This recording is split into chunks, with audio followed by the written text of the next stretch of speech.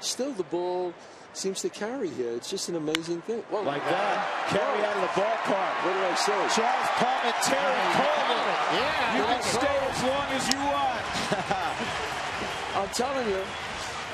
On cue, On as cue they would say was. in your business. Oh, is that on cue or That what? was on cue. You did not miss your line. I, I'm telling you, I, I, I always had good timing. Yeah, Josh. I like that. I always have the the- best timing. The best time you're going to have is the next six innings when we put about 12 on the board. base center. Oh, that was great. Yeah, how about this? Breaking ball kind of backed up into the zone. You mentioned the ball flight here. Of course, we're at altitude. They've, uh, they've put the humidor in to try to restrict some of the flight, keep the balls natural.